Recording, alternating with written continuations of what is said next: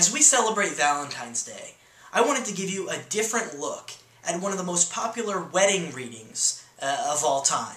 Many of you have heard the popular reading from 1 Corinthians 13 that says, Love is patient, love is kind, love is not jealous, etc. Uh, but I wanted to make that an affirmation for you.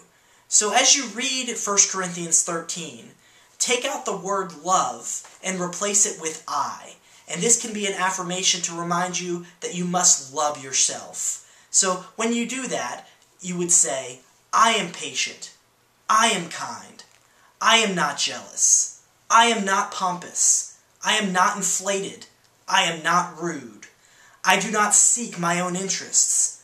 I am not quick tempered. I do not brood over injury.